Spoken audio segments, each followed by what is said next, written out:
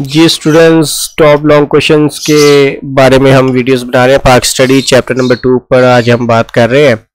और इसमें हम आपको बताएँगे कि कौन सा सवाल कितनी दफ़ा पेपर में आ चुका हुआ है। लेकिन उससे पहले आप हमारी वीडियो को लाइक करें और अपने दोस्तों से हमारी वीडियो को शेयर लाजमी करें।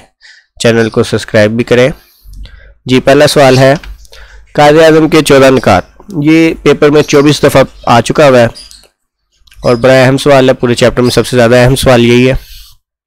जी। नेक्स्ट क्वेश्चन है, तहरीक अलीगढ़ की सियासी और तलीमी खदमात तफसील से बयान करें। ये अठारह दफ़ा पेपर में आ चुका हुआ है। करारदार पाकिस्तान की बुनियादी निकात बयान करें। ये दस दफ़ा सवाल पेपर में आ चुका हुआ है।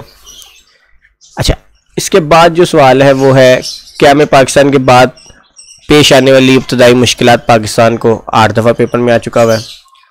मशरकी पाकिस्तान की अलहदा होने की वजूहत क्या थी, वजह क्या थी, आठ दफ़ा पेपर में आ चुका हुआ 1962 के आइन की नुमाया खसूसियात क्या है, लिखे छः दफ़ा पेपर में आ चुका हुआ है।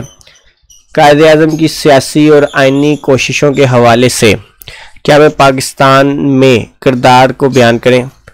पाँच दफ़ा पेपर में आ चुका हुआ है। उन्नीस सौ छप्पन यानी कि 1956 के आयन की खसूसियात बयान करें। पाँच दफ़ा पेपर में आ चुका हुआ है। जनरल अयूब खान के मार्शल ला के इसबाब बयान करें।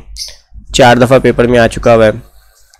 और बुनियादी जमहूरीतों के निज़ाम उन्नीस सौ उनसठ के खदो खाल बयान करें। तीन दफ़ा पेपर में आ चुका हुआ है।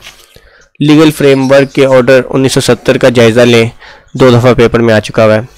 तो जी स्टूडेंट्स सबसे जो सबसे अहम सवाल है उसमें पहला, कायद अजम दूसरा तहरीक अलीगढ़ और जो तीसरा करारदार पाकिस्तान के बुनियादी मकासद और क्या पाकिस्तान के पास पेश आने वाले, ठीक है, मसाइल और मशरकी पाकिस्तान की की।